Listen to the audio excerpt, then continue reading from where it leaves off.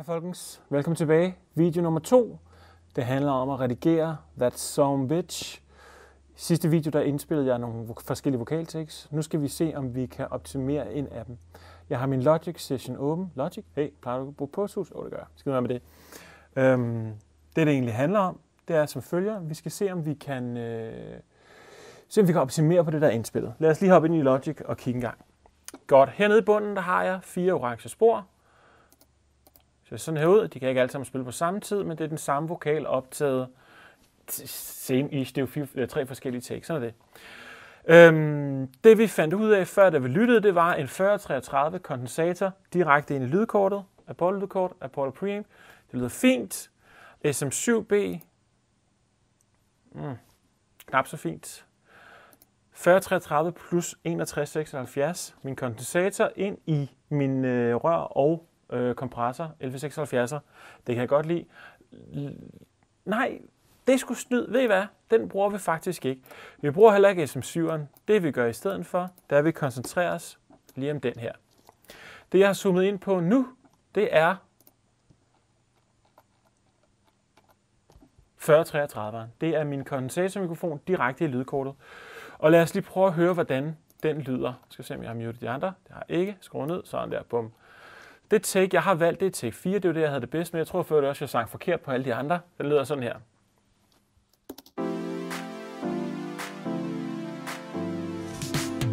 I think we've had enough. We've got to make it stop. I wanna make it clear that we gon' make it to the top. I think we've had enough. We've got to make it stop. Fedt. Okay. Det første, bare for at være helt ærlig, jeg glemte fuldstændig, på mit lydkort, der har jeg en autotuner, der kører i real time, når jeg indspiller vokal. Øhm, og det betyder, at alt er optaget igennem en lille smule autotune, så det er altså faktisk tunet allerede en lille smule. Det er jo selvfølgelig unfair, fordi det er ikke sikkert, at du kan det. Det du så i stedet for kan gøre i Logic, det er, at du kan gå ned til pitch, pitch correction, og så kan du bruge den indbygget. Nu ved jeg, at den her sang, den går i det er en major scale, og det er faktisk C-dur. Så bare lige for at tage den til T-Pain. Sådan her. We've had enough. We've got to make it stop. I wanna make it clear that we gon' make it to the top. Fint. Lad os bare lade den være på. Godt nok.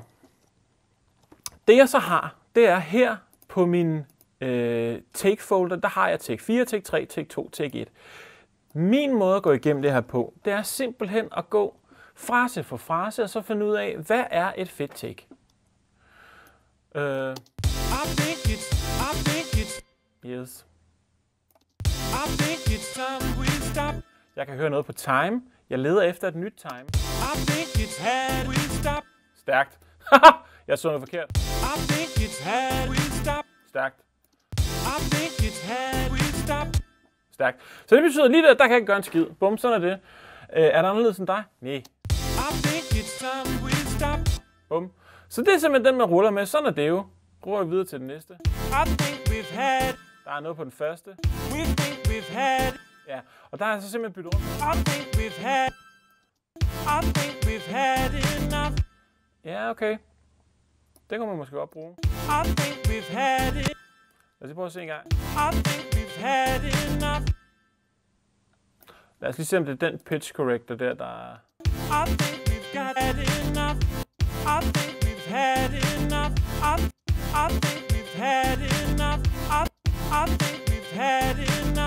Med det samme, der er sådan noget, hvor man har rodet lidt rundt i øh, tekst og sådan noget. Ikke?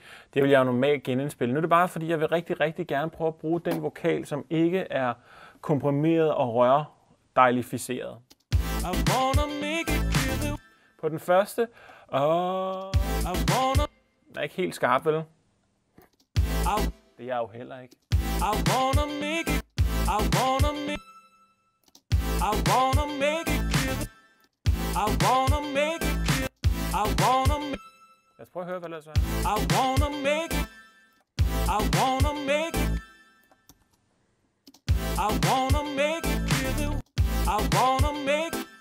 I wanna make it clear that Ja, okay. Ikke dårligt. Jeg hopper lige videre. make it clear that we gon' make it. Der er noget på Wii. Make it clear that we gon' make. Make it clear that we gon' make. Se, den pitcher bedre. Make it clear that we gon' Før. Make it clear that we gon' make it. Nu. Make it clear that we gon' make it. Take it clear. Hopper videre.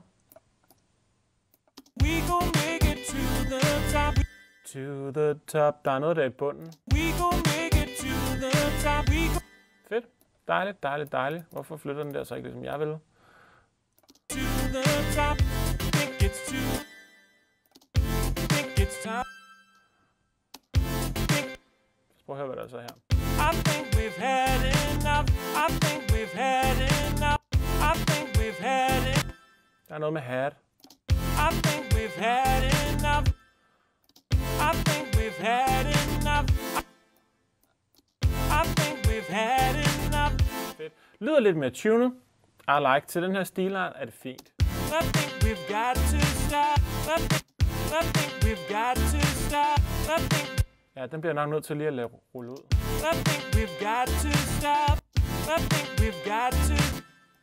Hvad, hvad synger jeg? I think we've got to stop. I think we've got to stop. Fedt. Se, nu er det her bare ekstremt hurtigt lige klippet sammen.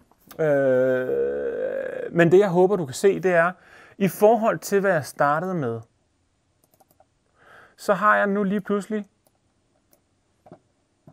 det bedste er det bedste.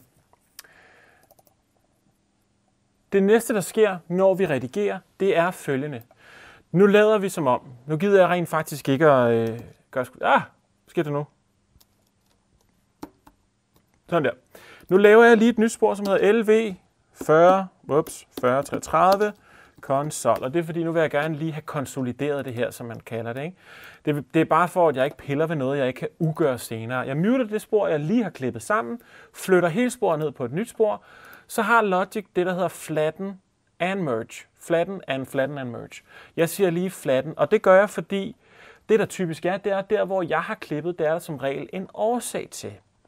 Så nu prøver jeg lige i Logic at fjerne Flex View, og så stadigvæk lige zoome ind på den der, bum, stikker det, bum, stikker det, bum, så kan jeg godt lide, jeg kommer fra Pro Tools, hvor man kan få ekstremt store waveforms, så man kan se alt det støj, der er på sporet.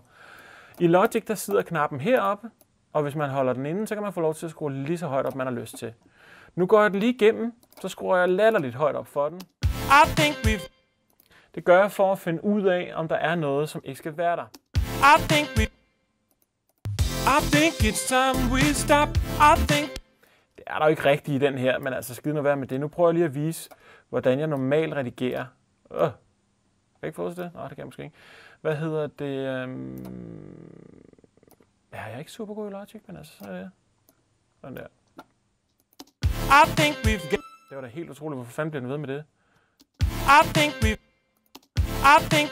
I think it. I think we. I think we. I. Ah, den gode gamle cycle. Claus er på røven. I think it's time we stop. I think. Og det jeg simpelthen går igennem hele vejen her, det er simpelthen for at finde ud af, fade out, slow down, fade out. Kan du bare gøre sådan her? God damn it. Nå, det kan jeg ikke. Det er for at finde ud af, hvad er de små lyde. I think we've had enough. I, I think we've. Overstyr. I think we've had enough. Sådan noget som det her for eksempel. Ikke? Det her, det vil jeg lige gå igennem. Det kunne godt være et åndedrag, det kan også være alt muligt andet. Nu prøver jeg bare lige at være et møgsvin, ikke? Hvad sker der herovre? Clear we go. Clear that we go. Clear we. Clear we go make it to. Get clear that we go make it to the top. I think we've. Ja, ja, lad os bare... Nu fjerner jeg bare lige det åndedrag. Det gør jeg, fordi jeg kan altid bare rulle filen tilbage, og så har jeg dem. Men nu starter jeg lige med at fjerne den, bare fordi jeg er et freaking møgsvin. I think we've had enough. I think we've. Og det er fordi, lige om lidt, så skal jeg til at komprimere på den her bad boy. Og når jeg begynder at komprimere, så hiver jeg blandt andet sådan noget som åndedrag op. I think we've got to stop. Bum. Sådan der. Og på den måde, så har jeg lige løbet filen igennem, sørget for, at når jeg lige om lidt begynder at komprimere på den, kan man få lidt måske bare lidt der. Yes. I think it's I think it's time we stop. I think we've had enough. I wanna make it clear feel that we gon' make it to the top. I think we've had enough. I think we've got to Bum. Fire tekst på vokalen. Afhængig af, hvor øh, gedin du er som sanger, så vil det være sådan, at øhm, det der med at bruge ekstrem lang tid på tekst, det er faktisk noget, som kommer med erfaringen. Tag 3-5 takes. Hvis du er ny til at redigere, så kan du heller ikke overskue at sidde med 14 takes og lede efter et ord, eller en stavelse, eller et S eller et T, som lyder bedre. Jeg siger det bare 3-5 takes. Derfra så tager du skridt sidelæns i stedet for frem eller tilbage. Hvis nu du er i et stort studie, hvis du er i gang med en Britney Spears, grund til at nævne Britney Spears, det er fordi, der går sådan en vandrehistorie om, at der er en sang, mener det Toxic, hvor hun i et vers 244 tekst. Og så sidder der en eller anden uhjælpelig, ukristelig ung mand fra øh, Slovenien, der er fløjet ind, kun for at sidde og klippe i et stort amerikansk studieklip hendes vokal sammen. Øhm, hvor med alting er, der mister jeg æderbakken med overblikket. Det gør du også. 3-5 takes. Klip dem sammen. Hvis du så mangler noget, så går du hen, og så synger du den lille frase, der mangler. Jeg har redigeret det. Videoen tager været 11 minutter indtil videre. That's it. Mere behøver det ikke at tage. Nu er det her så også kun et vers, ikke? men du kan godt synes, at jeg snakker og blæver dig ud af. Øh, det kan godt gøre meget, gøres meget mere effektivt. Godt. Det er det. Hej igen, og vi ses til den tredje video om La Mixa. Mixa la la la la la. Soy un gringo de tequila.